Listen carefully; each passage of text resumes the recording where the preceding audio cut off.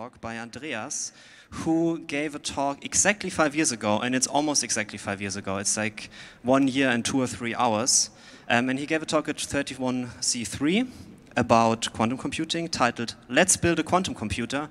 And I think back then we basically had just found out that Google was planning to partner with the University of, of California in Santa Barbara to try to build a quantum computer. Of course, now we're five years later. We've had a lot of developments, I think, in the field. We've had some big announcements by Google and other groups. And Andreas has now come back to give us an update. So please welcome him to the stage.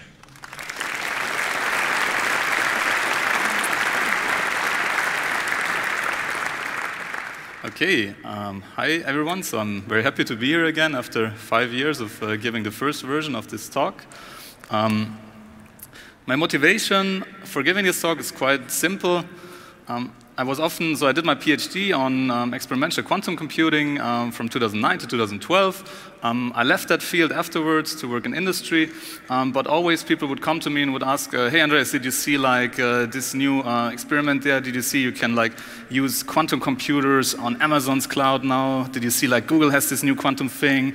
Um, is this really working? Uh, can we use quantum computers yet? Why are you not working on this?" And um, I couldn't I couldn't really um, answer the question. Um, so that's why I said, okay, um, I want to go back to this and find out uh, what happened in the last five years since I finished my PhD, what kind of progress was made in the field, and do we actually have quantum computers today that are working already, or are we not yet quite just there?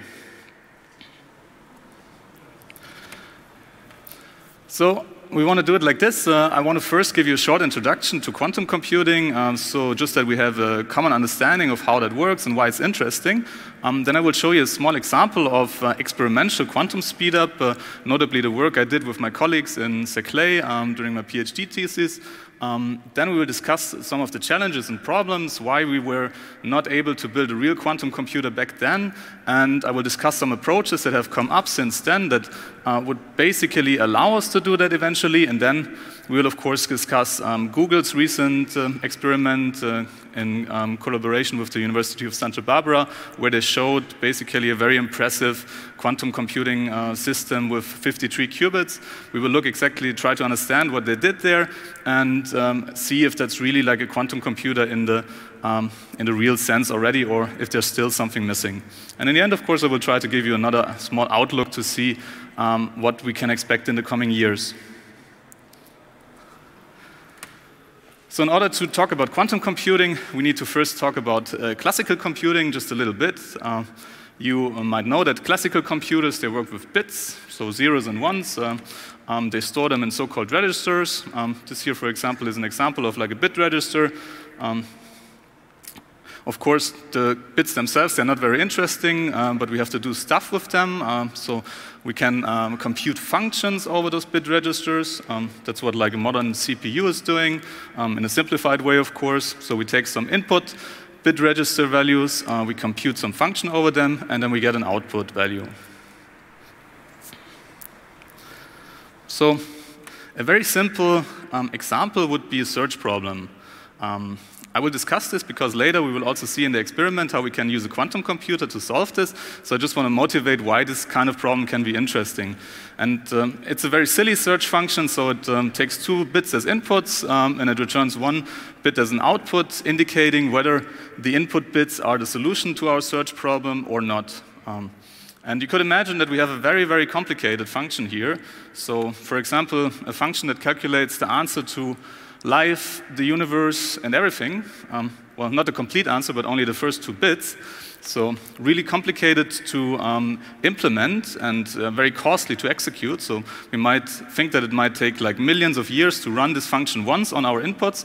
Um, so we want to find the right solution to that function with as few function calls as possible, of course. Overall, there are four possibilities, so four input states, 0, 0, 0, 1, 1, 0, and 1, 1, that we can apply our function to. And only for one of these states, the 0, 1 state, because the answer is 42, so that's uh, 0 times 1 plus 2.2 plus uh, some other stuff, so the first two bits are 0, 1. Um, for this value, the function returns a 1. For all of the other values, the function returns a 0. Now let's think about how we can uh, implement a simple search function. And in principle, if we don't know anything about the function, so we can imagine it's so complicated that we can't do any optimizations, we don't know where to look, um, so we have to really try um, each of these values in sequence. Um, and for this, we can have a simple algorithm, so we can start um, initializing our, our bit register uh, with a 0, 0 value. Then we can call the function on that uh, register. We can see what the result is. In this case, the result would be 0. If the result would be 1, then we know, okay, we have found our solution, so we can stop our algorithm. But in this case, the result is 0, so we can just go back to the left value and to the left uh, step and increase the register value to go to 0, 1 and try again. And in the worst case, um, depending if you're optimistic or not, we have to do this three or four times. Um, so if we want to really be sure that we find the right answers, we have to do it four times in the worst case. And this is, so to say, the time complexity or the computational complexity of this search. You know, if you imagine that in our algorithm, the most expensive operation is really calling this function f, then um, the calling time or the complexity of calling this function will be what dominates the com complexity of our algorithm. And in this case, the complexity is very similar, simple here um, because it's linear in the number of uh, the search space. So if you have n states, for example, in our examples, we have four different input space, uh, states, um, we also need to evaluate the function four times. So, and please keep this graph in mind because we're going to revisit that later a bit to see if we can do better with a different paradigm of computing. And so classically, this is really the best we can do for the search problem here because we don't know anything else about the function that would allow us to optimize that further. But now the interesting thing is that uh, we might imagine that we don't use classical computing for solving our problem. And in fact, uh, the discipline that we call quantum computing was um, kind of like inspired by a lecturer or like a seminar of uh, Richard Feynman, who um, thought about how um, it would be possible to simulate, and, or if it would be possible to simulate uh, quantum systems on a classical computer, a Turing machine if you want. And he found that um, because quantum mechanics is so complicated for classical computers that it's not possible to do that efficiently, but that if you would use the laws of quantum mechanics uh, themselves to make a computer, like a quantum computer, then it would be possible to simulate these quantum systems. And this kind of like sparked this whole idea of using quantum mechanics to do computation. And in the following years, they were not only um, solutions found for simulating quantum systems with such a quantum computer, but also for solving other not related problems to quantum computing, so like search problems or factorization problems, for example.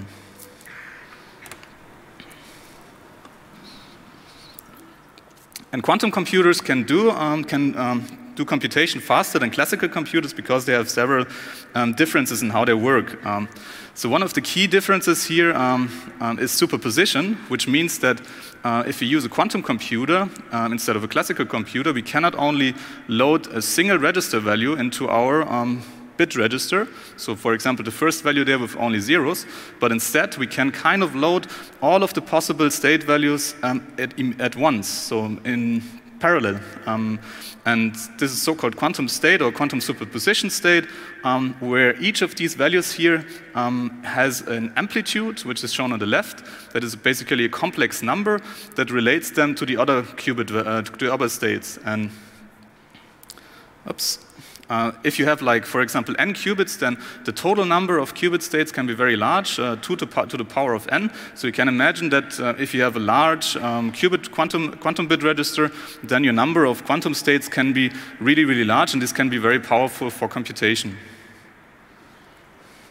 So um, in the rest of the talk, we're gonna just indicate this by like uh, showing the register as like a um, small uh, rectangle to indicate that it's not only a single value in there, but that we have a superposition values of all the possible input values to our function, for example.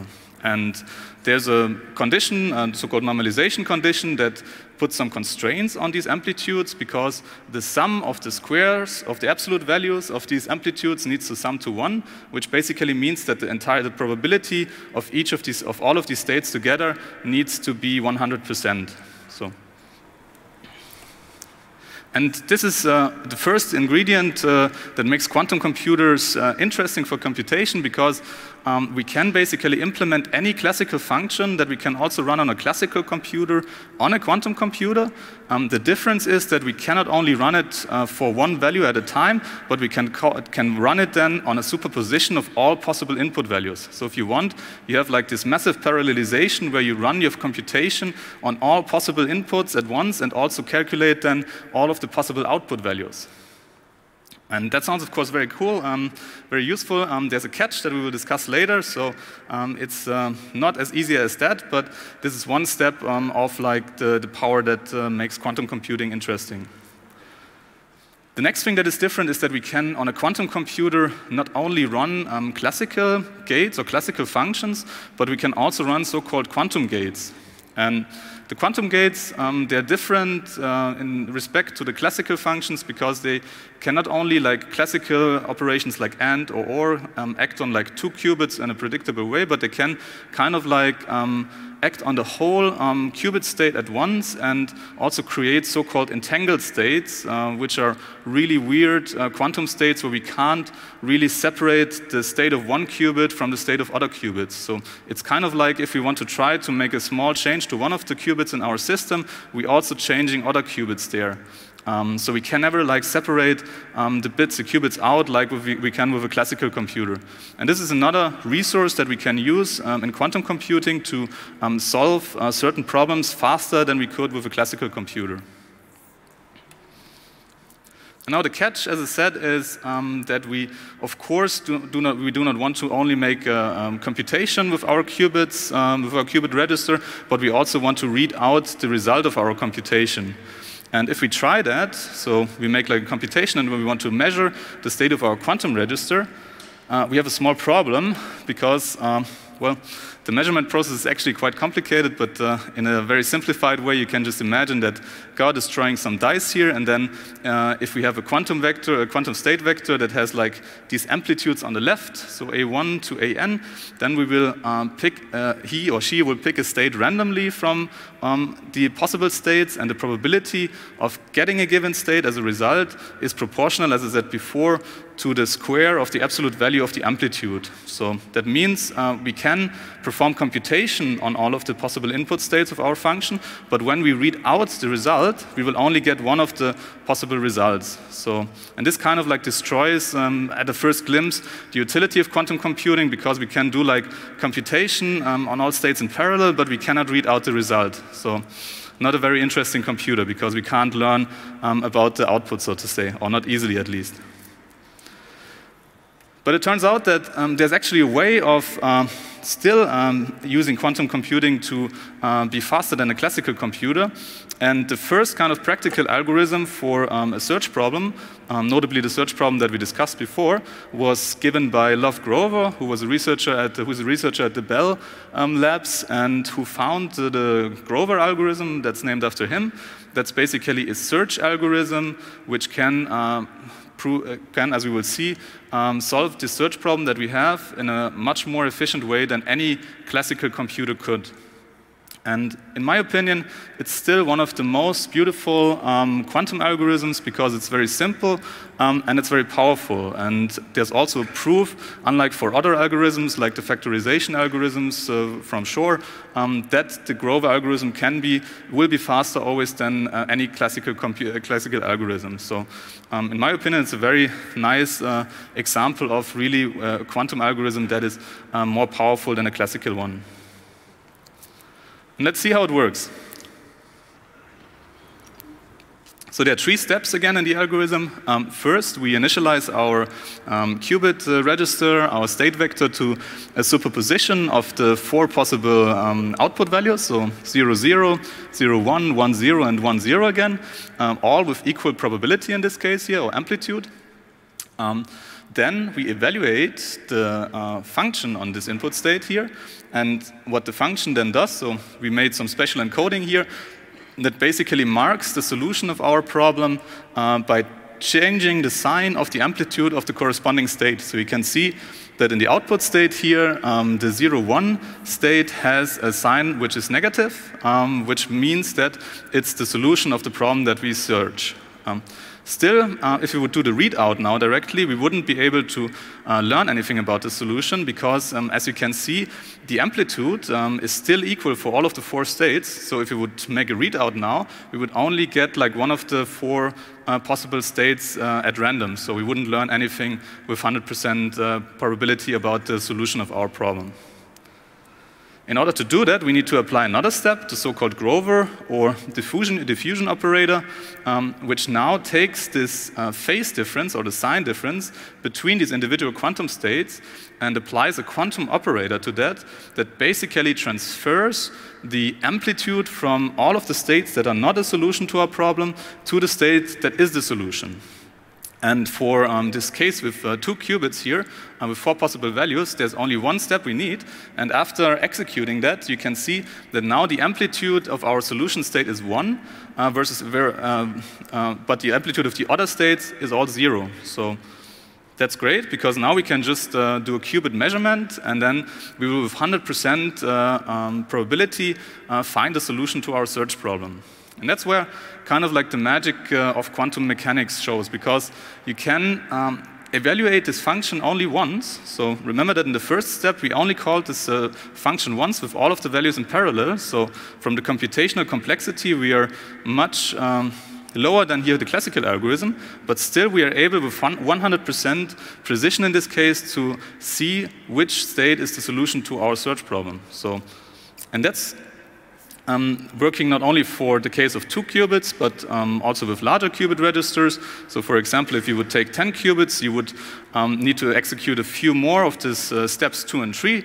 Um, so instead of one iteration, you would um, need 25 iterations, for example, here, uh, which is still much better than the 1024 iterations that you would need if you would really look into every possible solution of the function in a classical algorithm.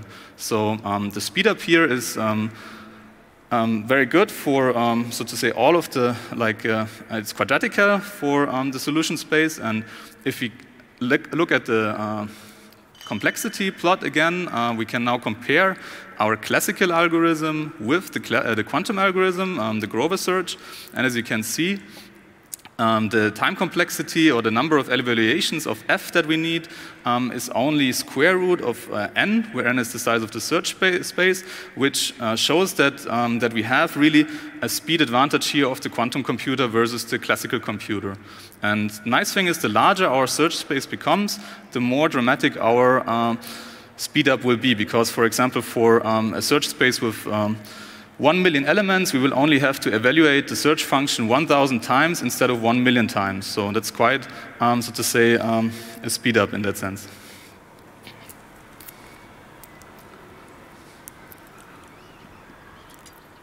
Now, how can we build a system that realizes this quantum algorithm? Um, here I show um, the quantum processor that uh, I built with my colleagues at Saclay um, during my PhD. Um, so if you want more information about this, uh, you should check out my last talk. Um, I just want to go briefly over the different aspects here. So um, we use the so-called superconducting uh, qubits, transmon qubits, uh, for realizing our uh, quantum computer, uh, quantum processor. You can see the chip um, here on the top. it's about one centimeter across. You can see the two qubits in the middle. Um, the other, like snake-like structures, are coplanar waveguides, uh, where we can manipulate the qubits using microwaves. Um, so we use frequencies that are similar to the ones that are used by mobile phones um, to manipulate and read out our qubits. And if you look in the middle, you can see the red uh, area, which contains the qubit, each qubit itself. Um, and then there's another zoom in here which contains the actual qubit structure, which is just some um, two layers of aluminium that have been placed on top of each other and which create, when they're cooled to a very low temperature, um, a so-called um, superconducting state where we can use the superconducting phase between these two values uh, layers um, to indicate to um, to realize our qubits. There's also coupler in the middle, so this green element that you see, which um, allows us to uh, run quantum gates or operations between the two qubits. To um, use that in practice, we need to put this in a dilution cryostat, which is really like just a very fancy refrigerator, you could say. Um, you cool that down to about 10 millik, um, so very low um, temperature, just above the absolute zero um, temperature. Um, you can see the sample holder here on the left side with the chip mounted to it. so this whole thing is put in the dilution fridge, then it's cooled down to the temperature, and then we can, as I said, manipulate it by using these microwave transmission lines. And what we did is we implemented the Grover search for the two qubits. Um, so we um, ran this algorithm um, that I discussed before. I don't want to go to, too much into the details. Um, the results uh, are obtained by running this algorithm many times. And as you can see, we um, have achieved not a 100% success probability, but over 50% for the most cases, which is like, uh, yeah, not perfect, of course, but it's good enough to, in our case, show that there was really a quantum speedup possible. And if you ask why, okay, um, why is not 100% probability possible, or why can't we build larger systems with that, or what kept us from, for example, building a 100 or 1000 qubit quantum processor? Uh, well, there are several things. Um, there's, uh, of course, that we have like, uh, make errors when we ma manipulate the qubits, so uh, the microwave signals are not perfect, for example, so we introduce small errors when like making two qubit and single qubit interactions.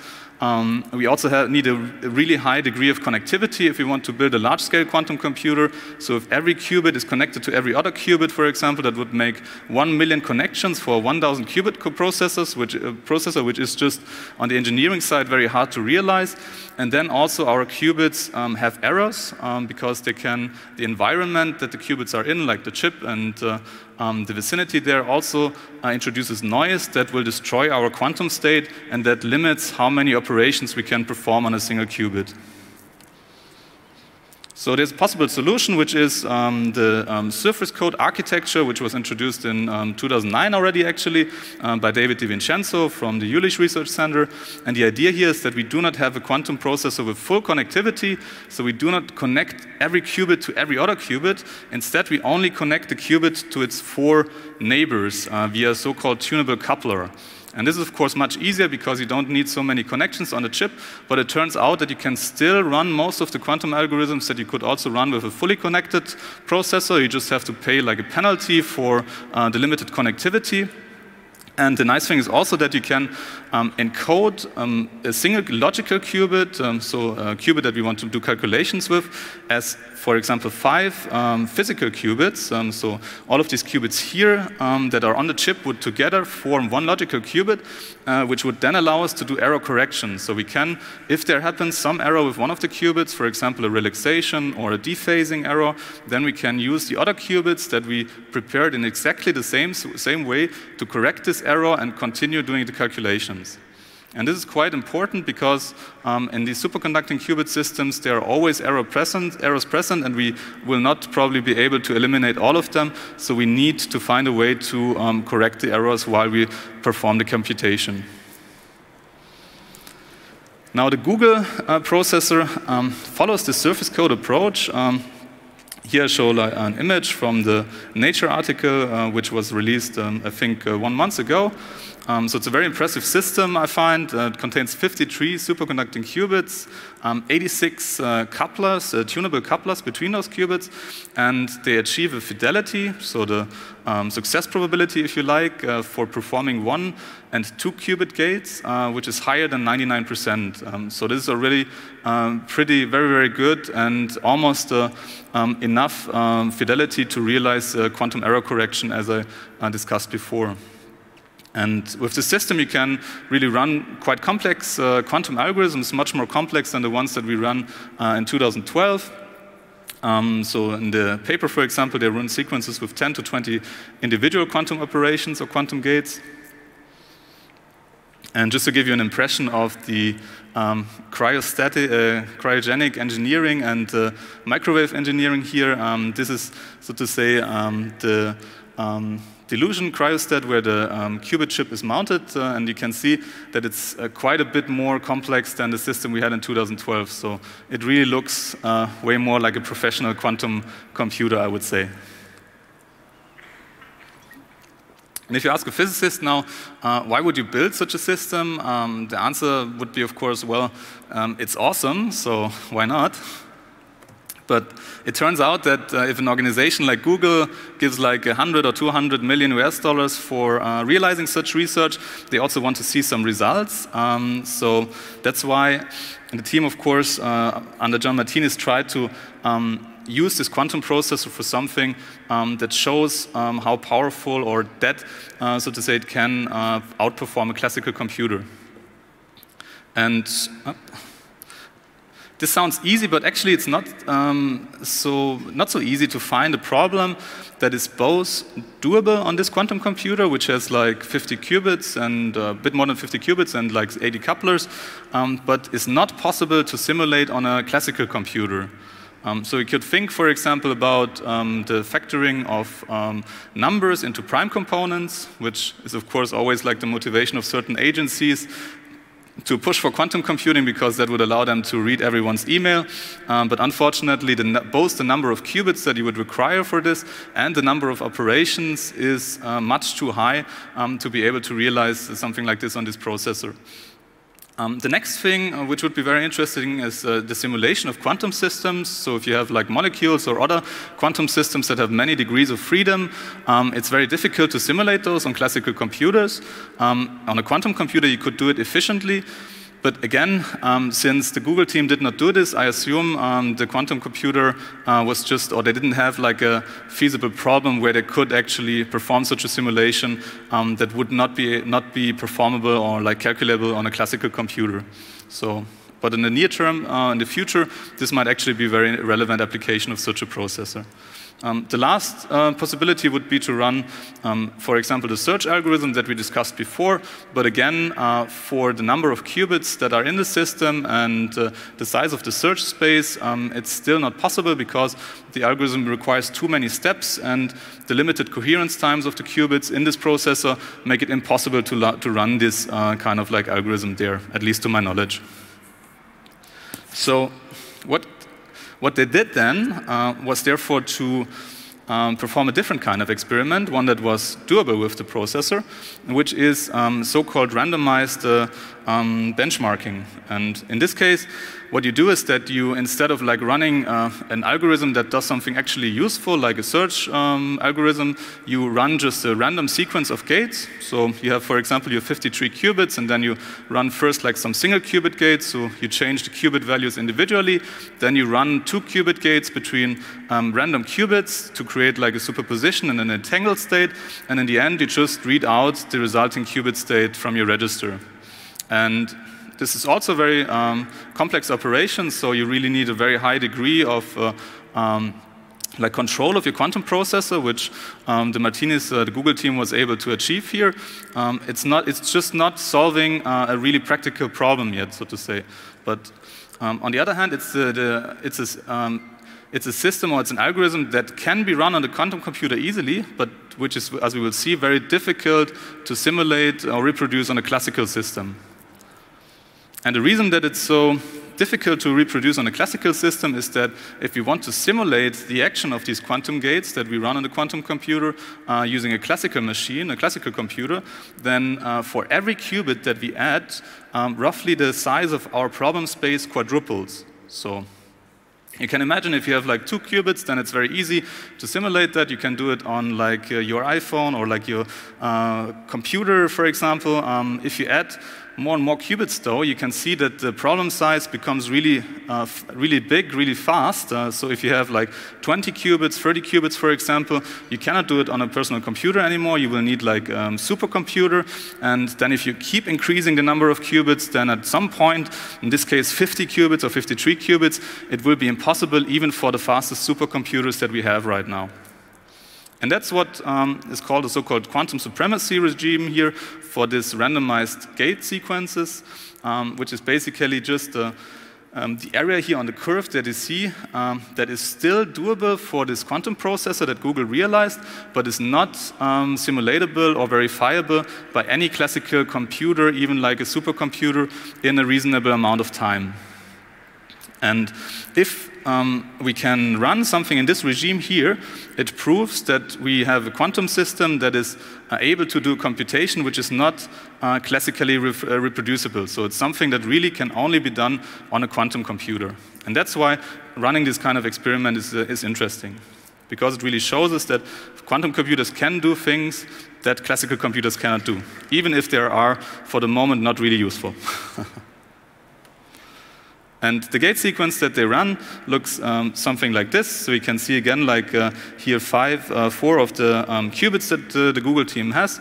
And uh, they run sequences uh, of operations of different lengths, then perform a measurement, and then just sample the output of their measurements. So what they get as a result is a sequence of long bit strings, so zeros and ones uh, for each experiment they run. And to reproduce the uh, to check that the quantum computer is actually doing the right thing, um, you have to compare it to um, the results of a classical simulation of this um, algorithm. And that's, of course, a problem now because um, you, we just uh, said that we realized a quantum computer, a quantum processor, which is able to do this computation uh, on 53 qubits and that no classical computer can verify that. So the question is now, how can um, they prove or show that what the quantum computer calculates is actually uh, the correct answer or that he does not just produce some garbage values? And that's a very interesting question, actually, and the way they did it here is by extrapolation. So um, instead of, for example, um, solving the full circuit, um, so that contains all of the connections and all of the gates of the full algorithm, they um, created uh, simplified circuits in two different ways. Um, so for example, they cut, they cut some of the connections between the qubits in the algorithm so that the problem space would become a bit smaller. Or in the other case, with the elided circuit, um, they just changed the operations in order to allow for some shortcuts in the classical computation or classical simulation of the algorithm. So in both cases, they were able to then verify the result of their quantum computation with a classical simulation performed on a supercomputer. And then they basically just did this for um, a larger larger and larger number of qubits. Um, they um, plotted the resulting curve and they extrapolated that to the supremacy regime um, to see that, okay, um, based on the error models that they developed, based on the simulation, they can, with a certain confidence, of course, say that probably the quantum computer is doing the right thing, even in the supremacy regime, even though we can, they cannot uh, verify it using their classical simulations.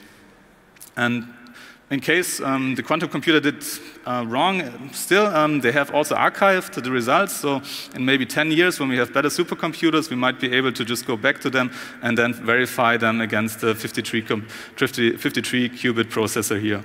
By which time, of course, they might already have like a larger quantum processor again.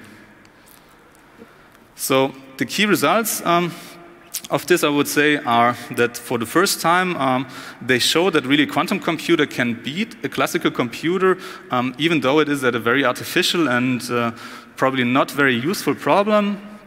And what the experiment also shows is the, really, I would say, an astounding level of uh, uh, control of such a large scale or medium sized uh, quantum processor. Because even five years ago, um, six years ago, 2012, 2013, uh, the systems that we worked with mostly consisted of three or four qubits, and uh, we could uh, barely fabricate the chips and manipulate them um, to get like algorithms running. And now, if I see like a 53 qubit processor with such a high degree of control and fidelity there, um, I can really say that it's really an amazing uh, progress in the last five years that was achieved, especially by the Google um, Martinis team here. And I also think it's a very good milestone on the way to fully work on quantum computer because it nicely shows the limitations of the current system um, and gives a good direction on new areas of research, for example, in error correction, where we can uh, improve the um, different aspects of the quantum processor. The research has also been criticized uh, from various sides, so um, I just want to like iterate a few of the points here. Um, one of the criticisms of, is, of course, that it doesn't do anything useful, so there's really no applicability um, of this experiment.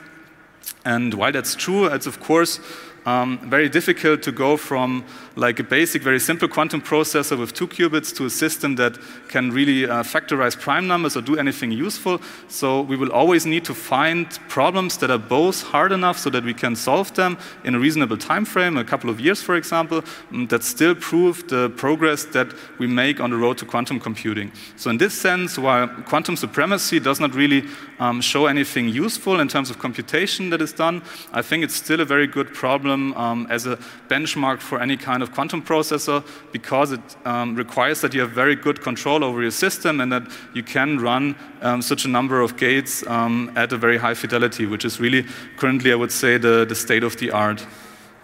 Um, the research they also took, uh, the authors also took some shortcuts. For example, they used like uh, two qubit quantum gates, which are not, uh, as we call them, canonical gates, um, which might be problematic because if you want to run a quantum algorithm on the system, you need to implement certain quantum gates that you need for that. And uh, since they only have like non-canonical gates here, which are still universal, by the way, um, they could not do that directly. But uh, with some modification of the system, it should also be possible. And the last criticism might be that, okay, um, here you have a problem that was engineered to match a solution. Um, which is of course that okay uh, we need some solution as I said uh, some problem that we can uh, realistically solve on a, such a system. Um, I think though also like the other points um, if you want to build a large scale quantum processor you need to define uh, reasonable milestones and having such a benchmark that other groups for example can also run that uh, process against is a very good thing because it makes the progress visible and also makes it easy to compare how different groups or how different companies or organizations are um, are at uh, competing on uh, the number of qubits and the control they have about them.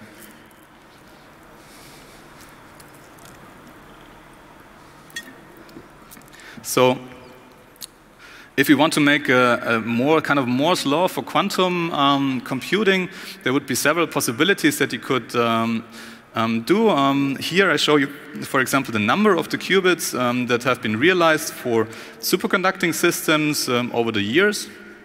Um, this is of course incomplete because you could, like the number of qubits alone doesn't tell you much about your system. Um, I mean, we could do a qubit chip with 1,000 or 10,000 qubits today, but if you don't have the connectivity and don't have the controllability of individual qubits, then this chip wouldn't be good. So um, there are other things that we also need to take into account here.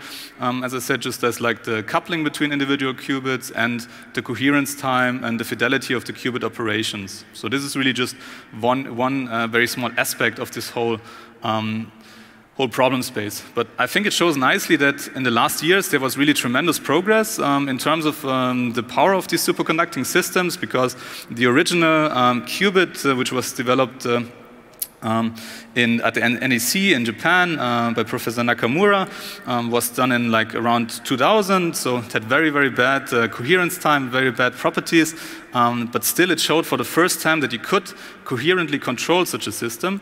And then it didn't take long for other groups, for example, the Quantronics group in Saclay, to pick up on this work and to, uh, to, do, uh, to keep improving it. So after a few years, we already had qubits with uh, a few hundred or even a microsecond of coherence time, which was like, an, like three or orders of magnitude better than what we had before.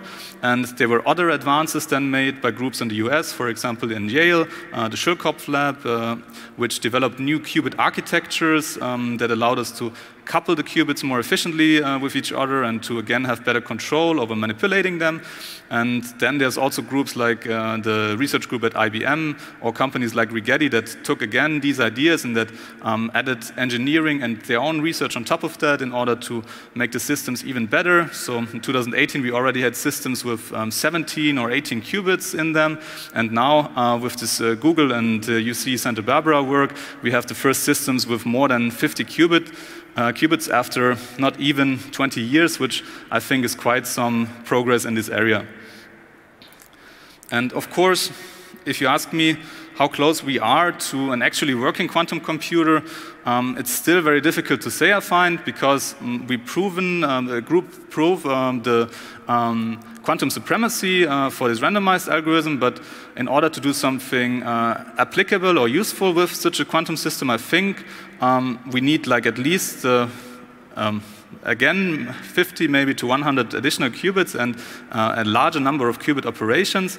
But um, it's really hard to say. That's why I also say don't believe in this chart because um, there's also, of course, a lot of work in uh, the theory of quantum algorithms because up to now uh, we are still discovering new approaches of doing quantum simulations, for examples. And right now there are a lot of research groups that are looking for ways to make these medium-scale quantum computers, so quantum computers with 50 or 100 qubits, already useful for uh, the use in quantum simulations. So it's really an interplay between what uh, the theory can give us in terms of quantum algorithms and what in terms of experimental realization we can build as a quantum processor.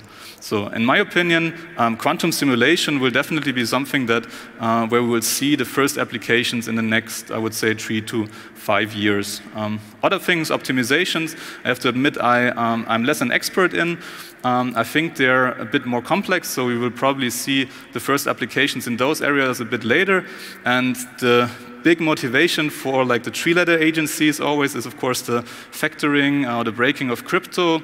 Um, systems, which is the most challenging um, one, though, because in order to do that, you would both need very large numbers of qubits, so at least 8,000 qubits uh, for an 8,000-bit RSA key, for example, and you would also need a very large amount of qubit operations because you need to run this Shor operation, and that uh, involves a lot of steps uh, for the uh, quantum processor. And this is, so to say the most, I would say from my perspective, unrealistic application of superconducting quantum processors in the next year. Um, but I think if somebody would build a quantum computer, maybe we would also not just know about it. So who knows? So to summarize, um, quantum computers or quantum processors are getting really uh, seriously complex and very impressive. Um, so we have seen tremendous progress in the last five years. Um, I still think that we're like five years away from building really practical quantum computers, and there are still some challenges, for example, in error correction, um, in the quantum gate fidelity, and in the general architecture of these systems that we need to overcome. And there might also be some challenges which we haven't even identified yet, which we might only encounter at a later stage when trying to build really large-scale quantum processors. And as a last point, I just want to stress again that uh, quantum computing research is not only done uh, by Google or by IBM. Um, there are a lot of groups in the world involved in this kind of research, both in theory and in experiment. And as I said before, a lot of the breakthroughs uh, that we use today for building quantum processors were done in very different places like Japan, Europe, USA. Uh, so it's really, I would say, a global effort. And uh, um, you should also, when you look, uh, when you see this marketing uh, or PR um, that companies like Google and IBM do, maybe not believe all of the hype they're creating and um, keep uh, a down-to-earth view, so to say, of the limits and the potential of quantum computing. So that's it, and I would be happy to take on your questions now. And if you have any feedback, um, there's also um, my Twitter handle there and my email address, and I think we also have some time for questions here right now. Thank you.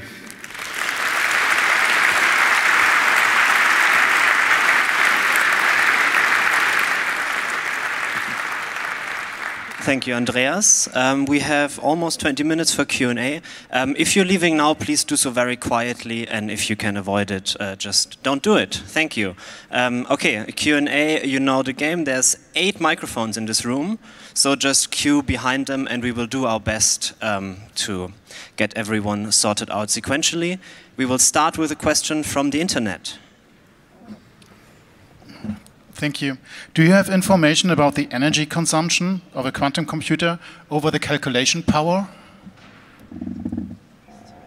Ah, yeah, that's an interesting point. Um, I mean, for superconducting quantum computers, there are like several um, costs associated. Um, I think right now the biggest cost is probably of keeping the system um, cooled down. So, as I said, you need very low temperatures, uh, 20 or 10 millikelvin.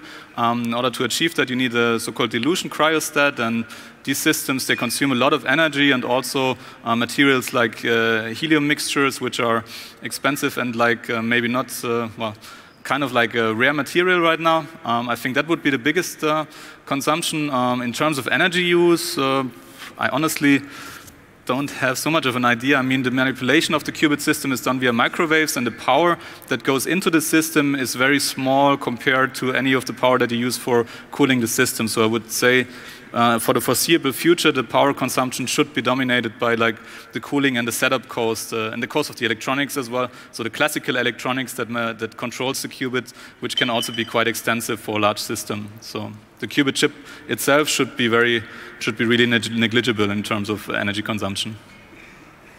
Thank you. Microphone number one, please. Um, hello. Uh, I have a question in regards to quantum simulation. So I would have thought that with 53 qubits, there would already be something interesting to do, since um, I think the border, the limit for more or less exact um, quantum chemistry calculations on classical computers is that there are 10 to 20 particles. Yeah. So uh, is there a more complicated relation from um, particles to qubits that's missing here, or what's the problem? Yeah. Um, so in the paper, um, I couldn't find an exact reason why they choose this problem. I think there are probably um, two aspects. Uh, one is that you don't have in the system um, the um, like arbitrary qubit control, so to say. So you cannot run like any um, Hamiltonian or quantum algorithm um, that you want. You are like limited in terms of connectivity. Yeah. So it's possible that they were not able to uh, run any uh, quantum algorithm uh, for simulation, which was not easy to run also on a classical system, you know. So, but I'm really not not sure why they didn't. I think just if they would have a, um, have had this chance to do a quantum simulation, they would probably have done that instead, because that's yeah. of course more impressive than uh, randomization or randomized algorithms. So because they didn't do it, I think it was just probably too complicated or uh, not possible to realize on the system. Yeah. Okay, so it's this. Yeah. But again, I don't know for sure. Yeah. Hmm? Good. Thank you. Yes, and also speaking as a sometimes quantum chemist, um, you can't directly map qubits to. Uh, to atoms, they're not two-level systems, and you don't. I mean, you usually also simulate electrons and not just the atoms. But yeah. I'm not a speaker. Uh, we can discuss later, okay. maybe. Microphone number two, please. Hi, thanks. Um, can you compare this uh, classic or general uh, quantum computer to the one by D-Wave? That's one of the quantum computers by AWS offered. Mm -hmm. They have 2,000 qubits or something, mm -hmm. they say. Yeah, that's a really interesting question. Uh, so the D-Wave system is a so-called adiabatic quantum computer, um, to my knowledge. So this, in this case, the, um, the computation works a bit differently. It's uh, um, with the normal, with this quantum computer that Google produced, you have a gate sequence that you run on your input qubits, and then you get a result that you read out. With the D-Wave system, it's more that you like engineer, like in Hamiltonian, which is also, um, which also consists of local interactions between different qubits, and then you slowly change this Hamiltonian in order to like um, change the, the ground state of the system to a solution of a problem that you're looking for. So. Um, so it's a different approach to quantum computation. Um, they also claimed um, that they can um, can achieve or that they achieve quantum supremacy, I think, in a different way uh, for like an optimization problem. Um, but to my knowledge, um, the proof they have is less rigid probably than uh, what the Google group produced here. So, but again, I'm not like an expert on adiabatic quantum computing, so I'm more like a gate-based uh, person. So yeah. I think though the proof that uh, here Google showed is more convincing in terms of like um, reproducibility and really like the um, uh, the proof that you're actually doing something that cannot be done on a classical computer. Yeah. Thank you. Yeah. D-Wave will see that differently, I think, though. yeah. All right, let's go to the back. Number seven, please. Hello? Seven? You just waved to me? Hey. Uh, hello. Uh, I was reading that earlier this year, IBM released the first commercial uh, Q1 system or whatever the name is. And uh, you were mentioning before to keep our expectation down to earth. So my question is, what kind of commercial expectations is IBM actually creating? Mm -hmm. So I spoke um, to some companies uh, here in Germany that are um, collaborating with um, IBM uh, or D-Wave or um, Google as well, and I asked what they're actually doing with the quantum computers. Um, they are um, uh, the, the companies offer. And um, I think the answer is that right now, a lot of uh, commercially, a lot of companies um, are investigating this as something that could potentially be very useful or very re relevant in uh, five to ten years. So they want to get some experience and they want to start collaborating. Um, I don't think, at least I don't know, any um, real production use of these systems uh, where the quantum computer would do some calculations that would not be doable on a classical system. But again, I don't have a full overview of that. I think now it's mostly for experimentation and for getting to know these systems. Um, I think the companies or most of the customers there probably expect that in five years or 10 years, the system will, systems will really be powerful enough to do some useful computations with them as well. Thanks. All right, the internet, please. With a quantum computer, you can calculate things in parallel, but there is this reversibility requirement. So how much faster is a quantum computer at the end of the day? Mm -hmm. Yeah, it's true. So that um, if you want to, uh, if you want to realize classical algorithm, um, you have to do it in a reversible way. Um, but to my knowledge, you can, uh, from an efficiency perspective, implement any classical um, non-reversible algorithm um, as a reversible algorithm without um, loss in um, complexity. so you can have also like for, for reversible computation, you have universal gates like the control not gate that you can use uh, to express any logic function that you require. You might need some additional qubits in compared to the amount of classical bits that you need uh, for the computation, but in principle, there's nothing that keeps you from implementing any classical function on a quantum computer. In terms of actual runtime, of course, um, it depends on how fast you can run individual operations. So right now, a single qubit operation, for example, on this uh, Google machine, takes about, I think, uh, 20 to 40 nanoseconds. Um, so in that sense, the quantum computers are probably much slower than classical computers. But the idea is anyway that you do only really the necessary computations uh, that you can't do on a classical machine, on a quantum computer, and anything else you can do on a normal classical system. So the quantum processor in this sense is only like a, um, like a, a co-processor, like a GPU in that sense, I would say. All right, microphone number four, please. On the slide that shows Richard Feynman, you said that um, quantum computers were invented to simulate quantum systems. And can you please elaborate on that? You went past it. Uh -huh. Yeah, so I don't have the link to the lecture here. Uh, unfortunately, the link is broken, but you can find that online. It's a 1982 lecture from uh, Feynman where he discusses like how um, you would actually go about simulating a quantum system. Because as we have shown, like uh, the, uh, if you want to simulate a full quantum system, you need to uh, simulate the density matrix of the system, and that um, takes about uh, that take, takes an exponential amount of um, memory and computation um, in terms of like the number of qubits or quantum degrees of freedom that you want to simulate. And uh, with a classical or Turing machine, you couldn't do that in an efficient way because every time you add a single qubit, you basically quadruple your computational requirement. And that's really where the idea came from, I think, from Feynman to think about a computing system that would use quantum mechanics uh, in order to be able to do these kind of simulations because he saw probably that for large quantum systems, it would never be possible to run, at least with our uh, current understanding of classical computing, it would never be possible to run a quantum simulation of a quantum system on a classical computer in an efficient way. Does it answer the question? Yeah, Okay. All right, microphone eight, please. Um, hi. Um, as a uh, physicist who's now doing analog circuit design, I'm kind of wondering uh, why all the presentations about uh, quantum computers always use state 0 and 1 and not multiple states. Is that a fundamental limitation or is that just, just a simplification for the sake of the presentation? Um, so you mean why you don't use like higher qubit states or like... Um, multi-valued logic or even continuous uh, ah, yeah. states. Um, so in principle, the quantum bits that we're using, they, don't, they are not really two-level systems. So there is not only the level 0 and 1, but also level 2, 3, and so on. Um, you could use them, of course, but um, the computational power of the system is given as the number of states. So like m, for example, raised to the power of the number of qubits, so m to the power of n. So in that sense, if you add like another state, um, you only change like, uh, um, like a smaller factor than adding another qubit. So it's usually not very interesting to add more states. What you would do instead is just add more qubits um, to your system.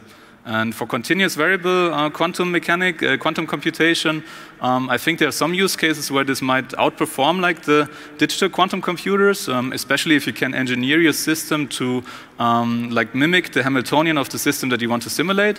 Um, so I think in this sense, uh, in these cases, it makes a lot of sense. Uh, for other cases where you say, okay, you want to uh, run a general quantum computation, then like such a digital quantum computer is probably the best solution. And you could also, um, just to add that, run um, like a continuous uh, simulation of a quantum system on such a gate-based quantum uh, system. It's just like the linear, the same order of complexity, I would say. Yeah. Does that answer the question? Uh, I think I delude myself to have understood that uh, the uh, non-diagonal elements in the density matrix grow much faster than the number of states in any um, in any diagonal matrix element. I guess you could say it like that, yeah. I have to think about it. All right, number three, please.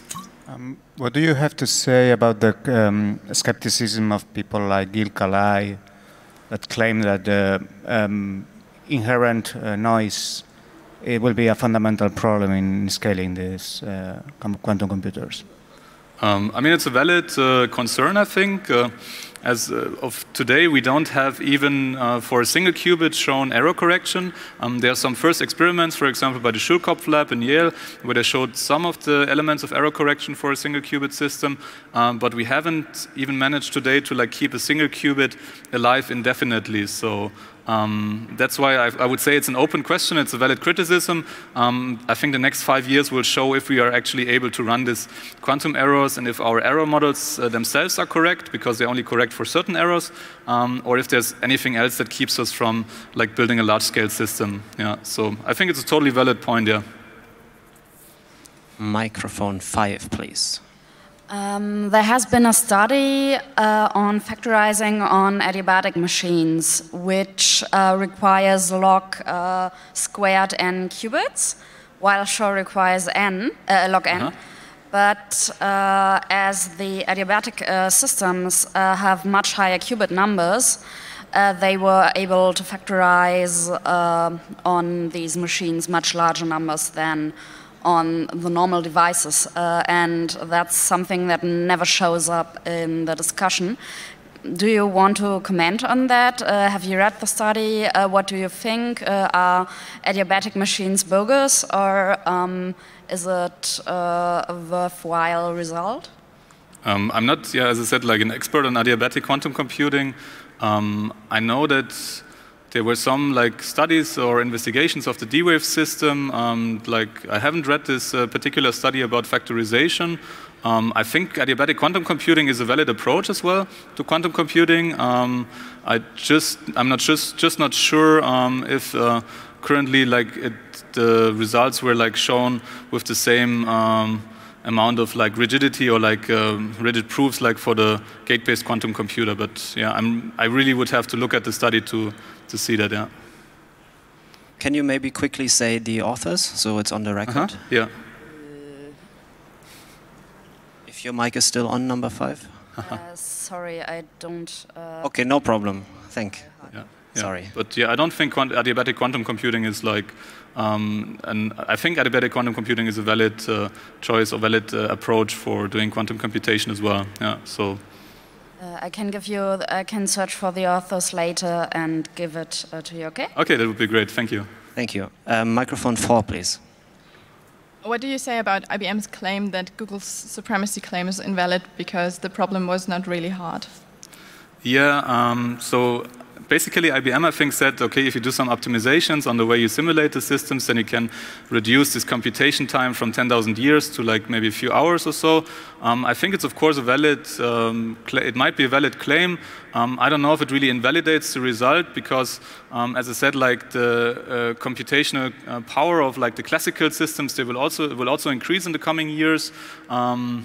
Right now, okay, you could say then maybe if we haven't achieved quantum supremacy in regards to like the 2019 hardware, then maybe we should just like look at the 2015 hardware and then we can say, okay, uh, there probably we achieved that. Um, in any case, I think the most um, what's most impressive about this result for me is not like if we are really in the supremacy regime or maybe not. It's really the amount of um, the, the, degree of controllability of the qubit system that this group has achieved. I think that's really the important point here, regardless of whether um, they actually achieved the supremacy or not, because it shows that um, these kind of systems uh, seem to be a good architecture choice for building larger scale quantum processors. And this alone is very valuable, I think, as a, uh, to guide the future research direction, regardless of whether this is actually of, um, no, they achieved this or not, yeah.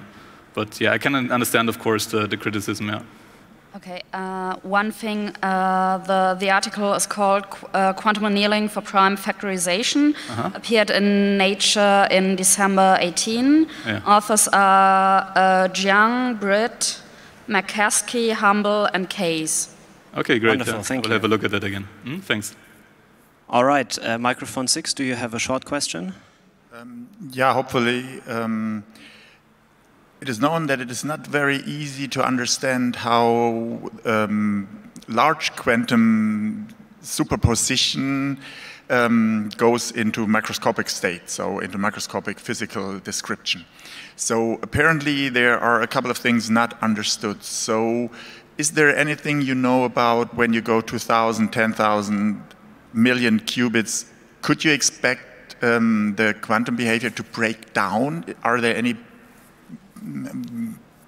fundamental argument that this will not happen, or is this not a problem considered um, recently?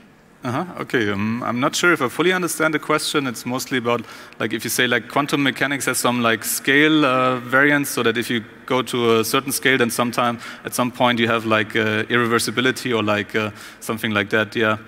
I mean, I think there are large quantum systems that occur naturally. Um, I don't know uh, like a Bose-Einstein condensate, for example, has a lot of degrees of freedoms that are not controlled, of course, but um, that are also quantum mechanical. Um, there it seems to work. So personally, I, I would think um, that there's no such limit, but I mean, who knows? It's like, that's why we do like experimental physics, yeah? So we will see as if we reach that. Yeah? But from like the theory of quantum mechanics, right now there's no indication that there should be such a, um, a limit, yeah, to my knowledge.